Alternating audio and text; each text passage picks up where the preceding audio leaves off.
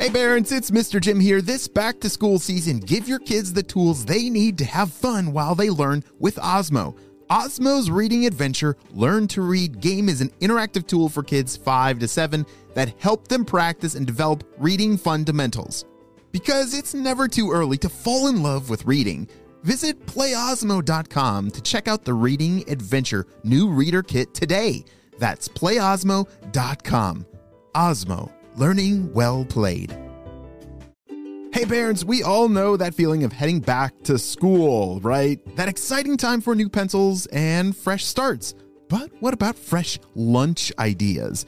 Boar's Head has been going back to school for over 115 years, so they know all about packing the perfect lunchbox with uncompromising quality and all time family favorites like Ever Roast, oven roasted chicken breast, maple glazed honey coat ham, and American cheese.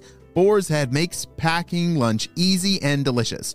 Look for Boar's Head at your local deli counter and learn more at boarshead.com slash back to school. Boar's Head, compromise elsewhere.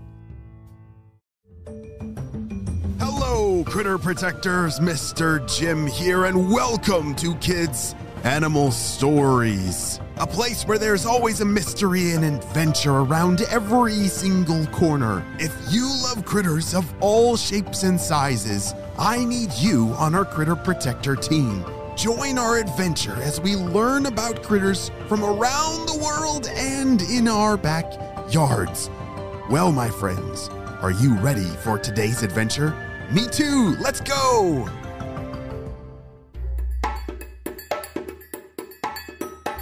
On the last episode, we saw that Chloe seems to be trying to get somewhere and not sure where she needs to go. She keeps hearing about this map thing that seems to be on her back and oh yes, it's a mystery episode.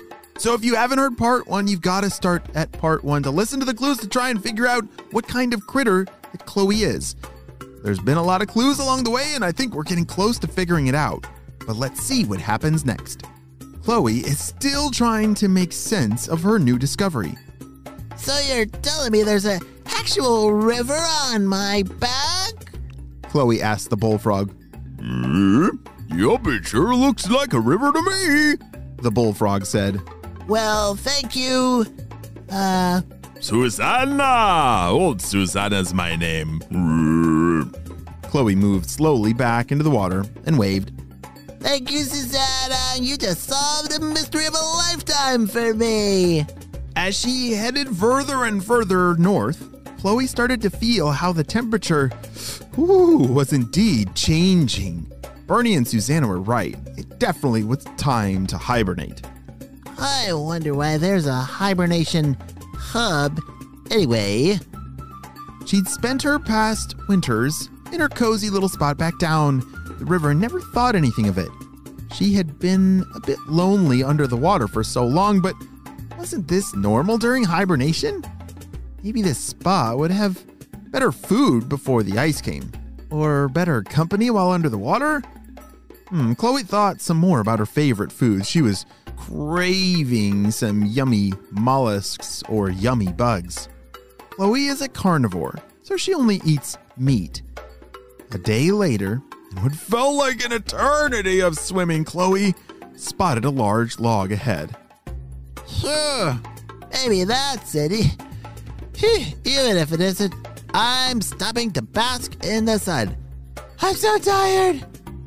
When Chloe climbed up on the log, the sun came out for a little bit. Ah, that feels so good. The warmth is just what I needed. Chloe closed her eyes, and then, when she opened them, a critter was right in front of her doing the same thing, Ah, oh, sorry, you, you startled me. said Chloe. Sorry about that. This place, it just looks so sunny and warm. The other critter looked a lot like Chloe. It had four feet, a small head, a shell covering its whole back, and bumps upon bumps, and a map all over it. Wait a second, I just heard a ginormous clue that we've got to solve this mystery. Have you figured it out? And did you hear the massive clue that I just heard? All right, I just heard that Chloe has four feet, a small head, and a shell covering its whole back. Do you know what I think that means? Yeah, Chloe's gotta be a beetle, right? Yeah, it's a, totally a beetle because beetles have shells and. Oh, wait, they don't have four feet. Um, they don't eat crayfish. Wait, what did. What'd you say? A turtle? Wait a second, is Chloe a turtle? Yeah, turtles, they have four legs with claws and they're, they're good at climbing up on logs and swimming and they got a shell on their back. Yes, you got it. Chloe is a turtle, and not just any turtle. She is a northern map turtle. She looks a lot like a painted turtle, or maybe one you've seen in fresh water, but her most distinctive cool feature is her shell. It's covered in bumps and lines that look an awful lot like a map. So that is why they are called map turtles. Wow, great job in solving this mystery, but wait a second.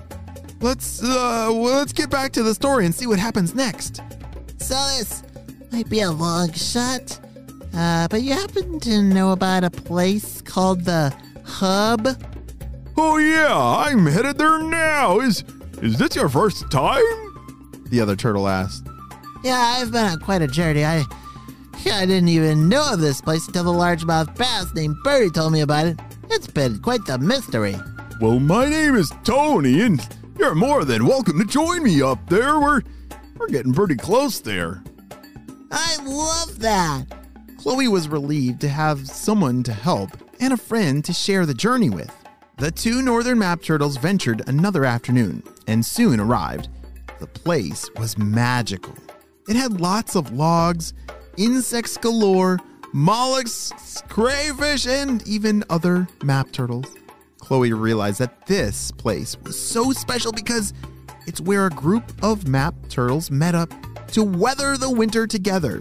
She was so happy to finally have reached the hub that she'd heard so much about. That may be the end of our story, but it is definitely only just the beginning of the amazing adventures that lie ahead for Chloe the Map Turtle and all her new friends. The end.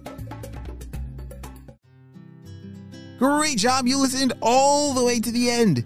You know, the, the winters were long, and although these turtles don't stay buried in the mud and all the way asleep, they stay very, very lazy to conserve energy.